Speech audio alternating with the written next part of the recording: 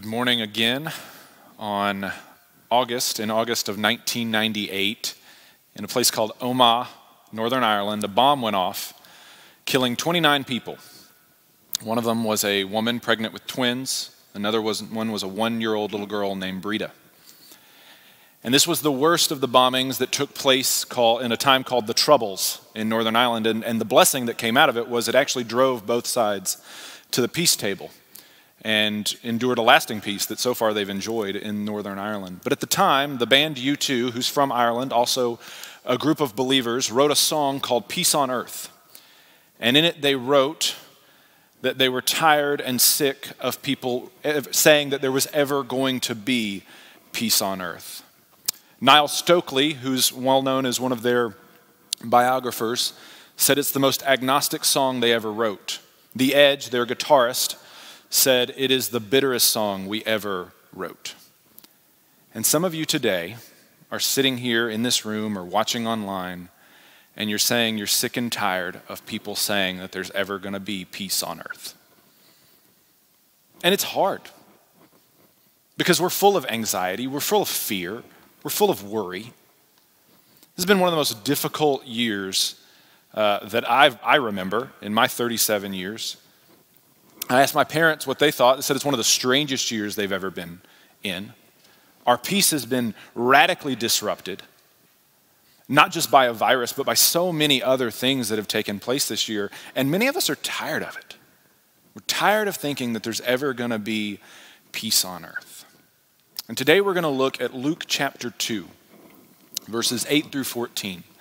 And the angels show up and they say, Peace on earth, goodwill toward men. And within this proclamation, there's a phrase that's uttered. In the city of David, there's a Savior, a Messiah, a Lord who is born. And I want us to key in on those three titles the Savior, the Messiah, the Lord. And I want us to see how we can actually have peace on earth. And not a peace like other people talk about, but a distinctly Christian peace. Not one absence of conflict, but one that brings shalom, which is this idea of wholeness, of completeness. In the verse that we're memorizing this week, in John chapter 14, verse 27, it, Jesus says, I am leaving you well and whole. That shalom, that wholeness. That's my parting gift to you peace. So, we're going to talk about the peace that a Savior can bring, the peace a Messiah can bring, and the peace that comes from the Lord. So, let's look at the peace of a Savior. Thanks to, to Linus, we all know this passage really well, right? If you've watched the, the Snoopy Christmas special. And so we're doing uh, this series from the message paraphrase. And the reason why we're doing that is we're all so familiar, many of us are so familiar with these Christmas passages that it helps to hear it in a different light. So let's read from verse 8 There were sheep herders camping in the neighborhood, and they had set night watches over their sheep. And suddenly God's angel stood among them, and God's glory blazed around them, and they were terrified. The angel said, Don't be afraid. I'm here to announce a great and joyful event that is meant for everybody worldwide. A Savior has just been born in David's town, a Savior who is the Messiah and Master. This is what you're to look for a baby wrapped in a blanket and lying in a manger. And at once the angel was joined by a huge angelic choir singing God's praises. Glory to God in the heavenly heights, peace to all men and women on earth who please him. What I want to do this morning, and I want us to look at these three titles, because this is the only time in the New Testament where Savior, Messiah, and Lord, or Master, as it's written here, appear in the same sentence, in the same phrase. And it's based on these three titles that the angels are actually able to proclaim peace on earth and goodwill towards men. It's based on these offices, these roles that Jesus holds, that baby lying in a manger, the place that he has. It's based on those that the angels can say, peace on earth, goodwill toward men. And the group that they're talking to, that this angel pronounces this to, is a group of shepherds. Now, we often think about the shepherds as a group and what they represent. If you look at writings on this passage, you'll see that sometimes the shepherds are represented as a group of outsiders because they're outside the city. And so they're people maybe outside of God's will and provision. They're symbolic that way. And that's a fine way to look at it.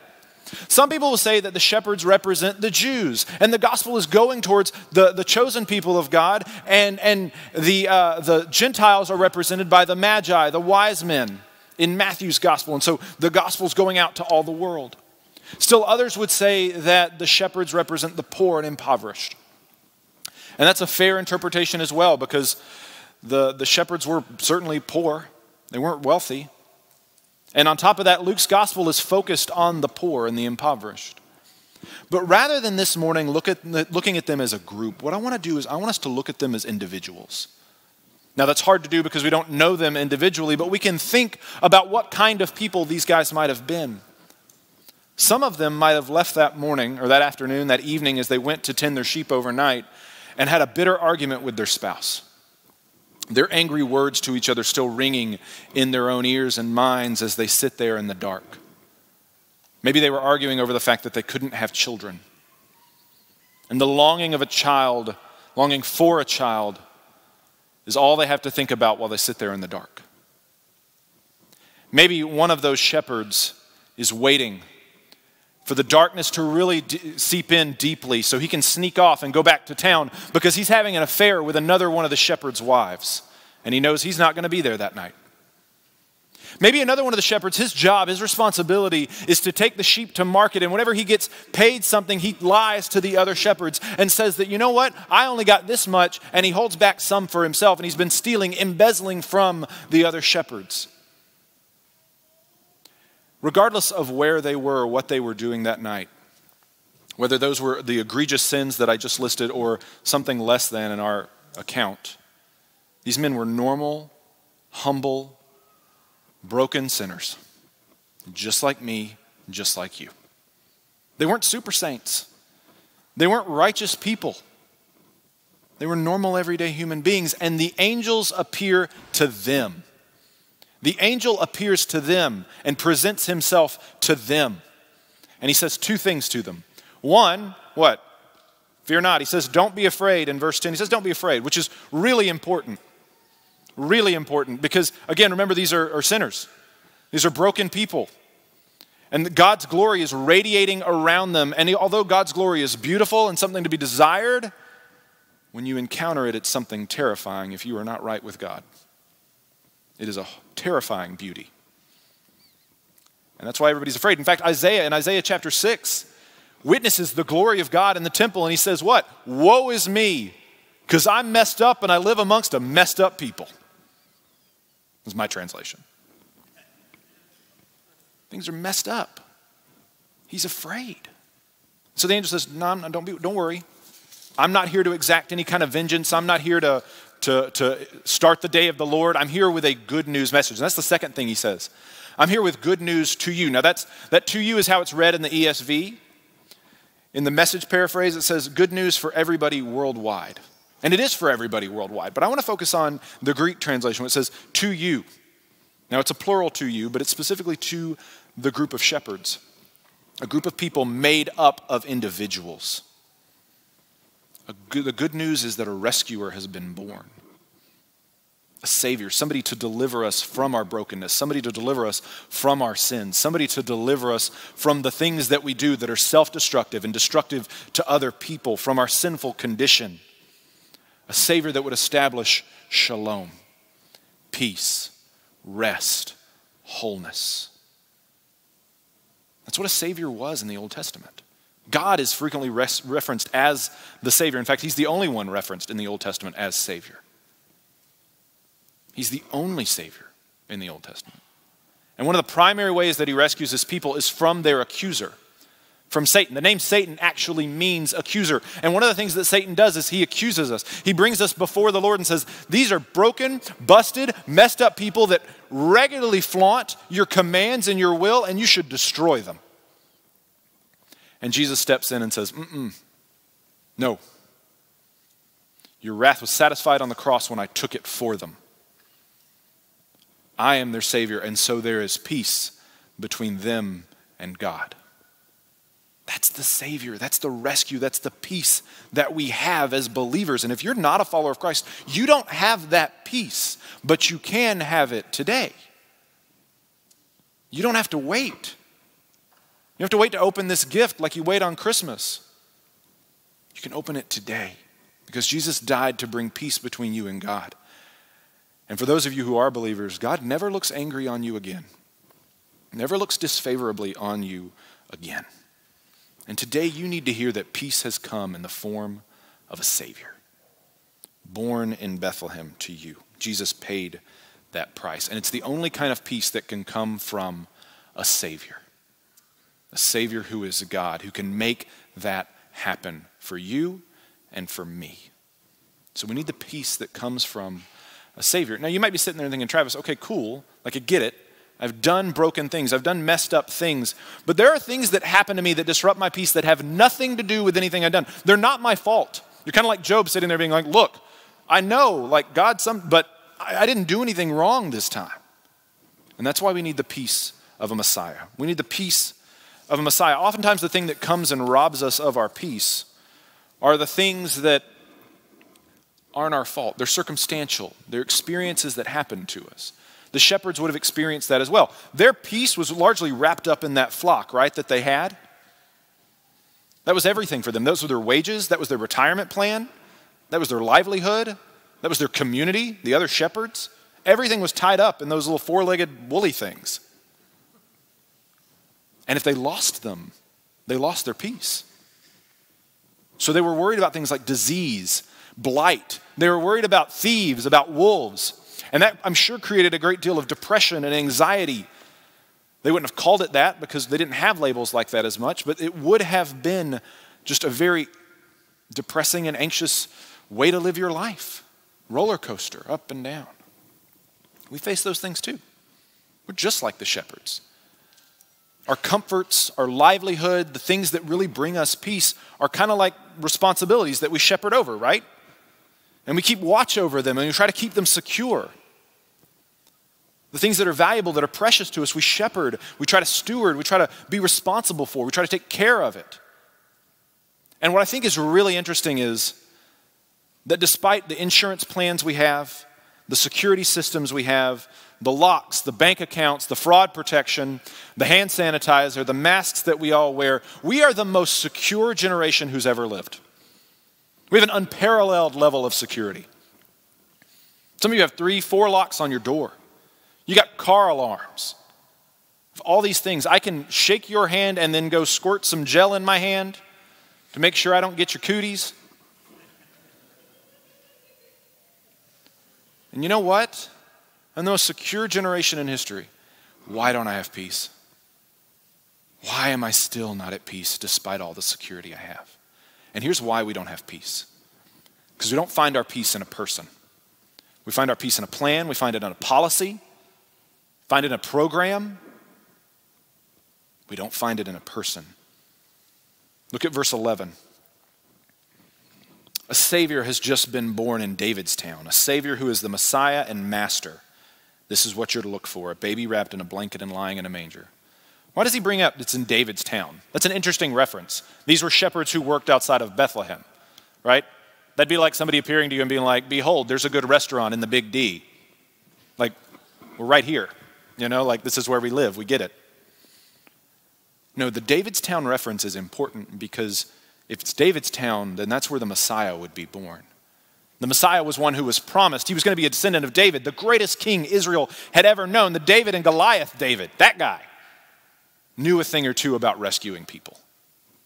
And he was going to, the Messiah, the one who was going to come and rescue everybody from everything, was going to be born in David's town.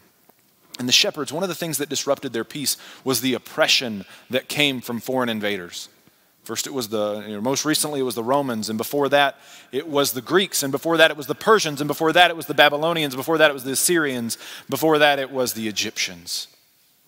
They were constantly oppressed by foreign powers. And a Messiah was going to come and throw off those, that oppression. He's going to throw off those things. So let me ask you this what oppresses you today? What's disrupted your peace? Is it fear? Is it anxiety? Is it worry? We have a lot to be scared of today. We have a lot of things that have disrupted our peace, a lot of things that have thrown us off of our game. There's a little tiny microbe that you can't even see that has thrown us completely off of our peace game this year. Something so small has shown us how precarious our peace is balanced. It's amazing. And we, what we do is we look to false messiahs. In Jesus' day, throughout his lifetime, revolutionaries would rise up and they would claim to be the Messiah, the promised one. And you know what would happen? They'd rebel against Rome for a little while, and then they'd be executed. That's even what they say in the book of Acts about Jesus. They're like, look, we've had tons of people claim to be the Messiah. And this is the Jewish leaders talking. These are not fans of Jesus.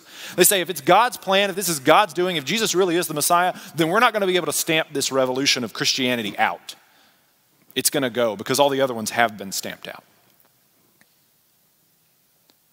We have false messiahs too our job, our health, our finances, our healthcare plans our ability to give gifts, our pleasures, our comforts. These are all false messiahs. And when they're taken from us, we find ourselves even lower than we've ever been before. And Jesus says, Stop seeking out the false messiahs. Let them go and let me be your Messiah. Bring to me your needs of peace.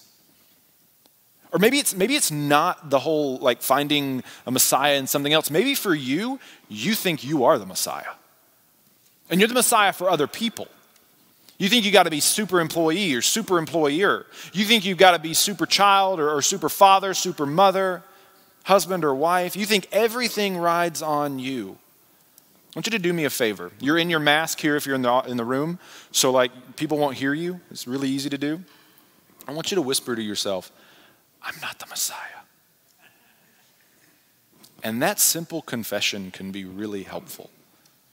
We laugh but how many of us really think that everything in our life depends on us? Those things aren't going to deliver you, and you're not going to deliver anybody else. Now, God may use you, sure. But I think we get caught up in God using us more than we get caught up in God actually delivering us, thinking that we're needed to be the deliverer, and God wants to use us that way. Maybe. But in the process, He's also going to rescue us. And maybe some of you are sitting here today being like, Travis, I, I just can't. Like, I cannot take that step of giving Jesus my need for peace because I'm afraid of what's out there in the dark. There are things out there in the dark that are going to come and take my stuff, and I'm afraid that if, if, if I let him, if I let my guard down, if I trust Jesus, he's not going to come through for me. And maybe you don't need to be a shepherd for a while. Maybe you just need to be a sheep. Maybe you just need to let God care for you. And what I would say to you, if you're worried about something coming in and robbing you of your peace. You know what else the shepherds that night had to rely on every night they were guarding their sheep? The other shepherds.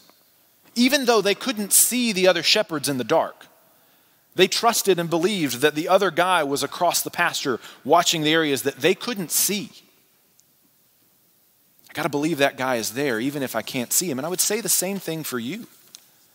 We've got to believe that Jesus is there in the midst of the darkness, watching over us and watching over the things that, that we are responsible for and that we care for. Because the Messiah was called was going to be called a good shepherd. And Jesus calls himself that. He calls himself a good shepherd. Look at what it says in Ezekiel 34. God says, I'll appoint one shepherd over them all my servant David, that's the Messiah, he'll feed them. He'll be their shepherd, and I, God, will be their God, and my servant David will be their prince.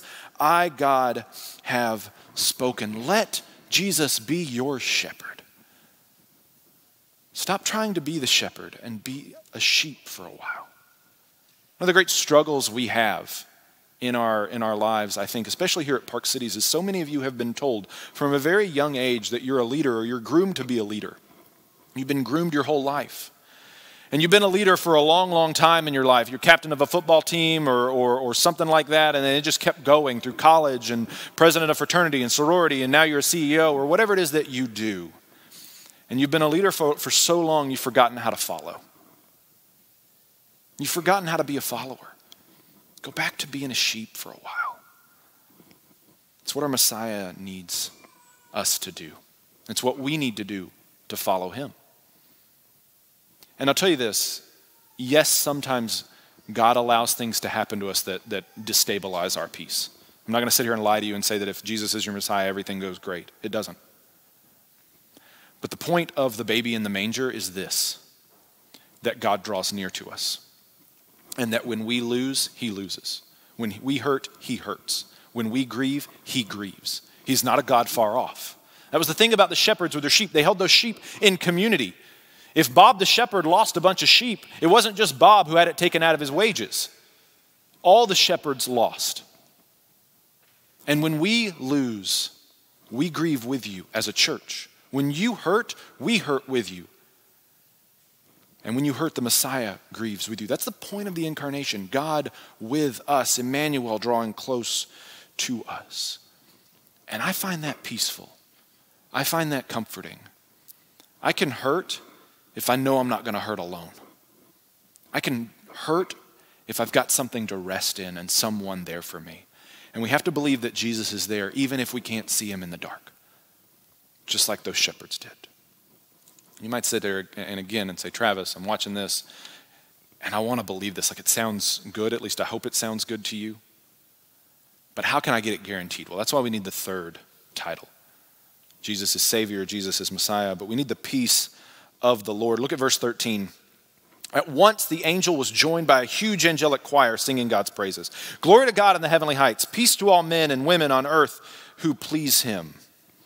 Now, if you know a thing or two about the spiritual realm, the physical realm, uh, in, in dealing with Scripture, we don't usually see angels, right? And if you do, well, that's cool, or you might want to talk to somebody about that uh, if you're seeing angels. We don't usually see the angelic realm, the spiritual realm, but in this particular moment, the, the, the party, the celebration of the proclamation of the birth of the Messiah is so great that the heavens rip open. It's almost like the heavens, the spiritual realm can't contain the celebration, and so it's like the doors just blow off of heaven, and it's like, boom, here's the celebration for a while. You ever been riding down the road and somebody's like blasting their music really loud, and despite the fact that your car has like zero road noise, for whatever reason, you can hear Lil Wayne playing from like three lanes over? That is what this is like. The heavenly realms got it cranked up to 11, and they are hearing everything. You don't celebrate like that unless the victory is certain, right? As you know, I'm a baseball guy. You don't celebrate a single in the first inning the same way you celebrate a walk-off home run in the 12th. Two totally different celebrations. This is like bottom of the 12th celebration between these angels. You don't celebrate like that unless it's guaranteed, unless it's certain. And that is what it means when they say, the Lord has been born. Because when the Lord attaches his name to something, he's guaranteeing it. He often says in the Old Testament, I am the Lord, I am the Lord, I am the Lord. Do this, I am the Lord. Go here, I am the Lord. Do this sign, I am the Lord. Follow me here, I am the Lord. When the Lord attaches his name to something, it's a guarantor. It's a, this is going to happen, I'm with you. And notice what he says here. It says, the angels appeared. It says, at once the angel was joined by a huge angelic choir singing God's praises. It's the heavenly hosts. And often when God attaches his name to something, this heavenly host is like, a, like a, a an angel army. It's kind of how the, the, the message writes it. It's this angel army. And often when God talks about being the Lord of hosts or the God of the angel armies, it's in the prophets in the latter uh, chapters of the Old Testament. And it's usually something to do with judgment. Like God's going to show up and judge, and he's going to bring the army with him. But in this case, that's not what's happening. It's not what's happening, it's a celebration. And I think there's enough similarities, there's enough parallels between what's happening here in Luke 2 and an Old Testament passage that I want us to look at. It's in Zechariah 10, 3 through 6. And I'm going to read it out of the, out of the ESV because I think the literal, uh, little more literal translation uh, captures a few things that I want to key in on. Verse 3 My anger is hot against the shepherds. Now, the shepherds uh, were Israel's uh, religious leaders, their political leaders that had led them astray. And I will punish the leaders, for the Lord of hosts, there's that term, cares for his flock, the house of Judah, and will make them like his majestic steed in battle. And from him, from Judah, shall come the cornerstone, the Messiah. From him the tent peg, from him the battle bow, from him every ruler, all of them together. They shall be like mighty men in battle, trampling the foe in the mud of the streets. They shall fight because the Lord is with them, and they shall put to shame the riders on horses. I will strengthen the house of Judah, and I will save the house of Joseph. I will bring them back because I have compassion on them, and they shall be as though I had not rejected them. For I am the Lord their God, and I will answer them. See how he attaches his name to it. This is going to happen because I'm the Lord their God. Zechariah is what it's called one of the post exilic prophets. It means he wrote in a time in Israel's life where they had been exiled to Babylon and they'd come back and they were looking at, God, what are you going to do next? Because it seems like everything's terrible. And Zechariah and Malachi are the two last prophets to prophesy in the Old Testament, and then there's 400 years of silence. And pretty much the next time a proclamation is made to a group of people is here in Luke chapter 2. And who shows up? The Lord of hosts, or the hosts rather, the host of which the Lord is the commander, to a bunch of shepherds and a proclamation of the Messiah is going to be here. Now, again, I'm not saying that Luke 2 is a reference to Zechariah 10 3 through 6. What I am saying is one of the last things God tells Israel, he shows up and sort of says, Hey, look, remember the guy that made the promise about removing the evil shepherds and putting his own guy in place, and I'm going to be their shepherd? That guy, the Lord, the God, the Lord of angel armies, that one? Yeah, he's here, and it's happening. And he makes the proclamation to a group of shepherds. That can't be a coincidence. That's to be something that God is saying to us and to you today. That the God who makes promises 400 years before they happen is the God who delivers on them and never fails to deliver on them. The God who promises to you, that promised to the shepherds, promises to you today as well. And He is the Lord and He will bring it about. And what I want to say to you today is I wish I could give you an outline and be like, boom, here's three steps to peace. That's not how it works. That's not how peace operates. And I think you know that. And I think if I did that, I think you'd think I was wrong. If you want to have peace from a Savior, peace from a, a, Lord, peace from a Messiah, you got to trust Him for it. You got to have faith. And it's hard because 2020 has beaten the faith right out of us. At least it feels that way. It's difficult. And if you're having a hard time having that faith, having that trust, you know where that faith comes from? The same Lord who gives peace and he wants you to have it. He doesn't withhold from people who ask. And so go to him and say, Lord, I don't have the faith to have peace in you, but I want it. Can you give it to me? Please give it to me and pray with expectation, pray with hope, pray for peace, and pray for faith. And that's what he has to offer today. We need peace in our life. We need the peace of a Savior who's going to rescue us from our sins, the monsters of our own making. He wants to rescue us from those things. But He also wants to rescue us from the circumstances, the things that go wrong. And maybe He doesn't always deliver us from those things in this life. Maybe He allows us to go through difficult times. But ultimately, we will be delivered from those things when our Messiah returns. And we need the peace of a Lord, a God who can promise us things and guarantee that they're going to happen. On September 11th, 2001, y'all know what happened. Plane struck the World Trade Center, the Pentagon. It was a very disorienting time, not just for us as Americans, for the entire world. A disruption of peace in the entire community. And U2, same band, did a benefit concert for the uh, first responders, the, the people who were lost in the collapsing of the World Trade Towers. And in their concert, they sang again, Peace on Earth, but they changed a lyric. They went from singing, I'm sick and tired of hearing that there's ever going to be peace on earth, and they changed it to, I'm sick and tired of hearing that there's never going to be peace on earth. You see the change, the change to optimism, the change to hope. They left behind their bitterness and I say to you, be tired this year, not of hearing peace on earth, but of hearing that there's never going to be peace on earth. Be tired of hearing what a crisis this year has been. Because God is doing great things even in the midst of crisis, even in the midst of suffering, even in the lack of peace that we sometimes have. And today we're going to take the Lord's Supper. We're going to remember that that little baby grew up, lived a perfect life, lived sinlessly, and died so that we could have peace with him. And we're going to reflect on that. We're going to remember that. And I think it's appropriate that we call it the Lord's Supper, the supper of the one who guarantees for us that we have peace with God, peace amongst men, in whom his favor rests. Let's pray. Gracious God and Heavenly Father, what great hope we have in you. And it's not just hope that things will be fine. It's not just hope that things will be okay. It is hope for peace. And peace is not the absence of conflict, peace is a wholeness, a flourishing that takes place. And we know that one day our Savior, our Messiah, our Lord will return and bring peace. And we look forward to that day. Lord, we ask that day would come. We ask that that day would come even before Christmas, that as we're celebrating and remembering your first advent, we remember and look forward to your second. We'd be remiss not to pray that it would happen. And Lord, as we take the bread and the cup this morning, I ask that you would be present amongst your people, that we draw close to you, and that your grace would be poured out upon us, that we might experience and know you well, and that we would find peace today. It's in your Son's name we pray, Father. Amen.